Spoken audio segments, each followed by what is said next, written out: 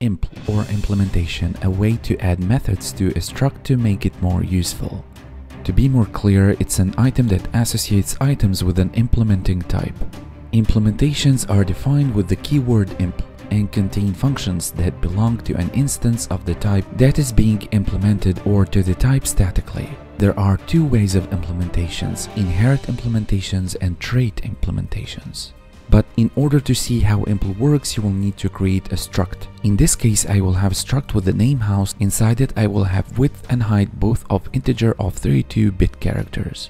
Now that we've created the house struct, we can now declare a variable called my underscore house, and this variable is going to be of house struct, and it will take the width and the height as parameters.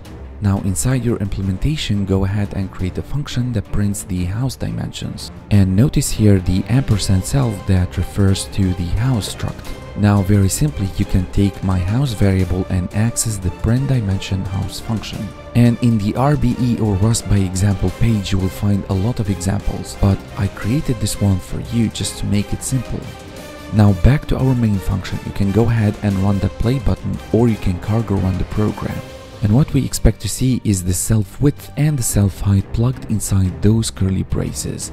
I've created another function to actually calculate the width and the height, not just to plug the 500 and 250 as if they were strings.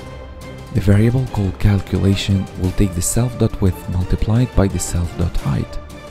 And back to the main function, we will enter the myHouse variable and we will access the calculate dimension house and you will get both the dimensions and the calculation.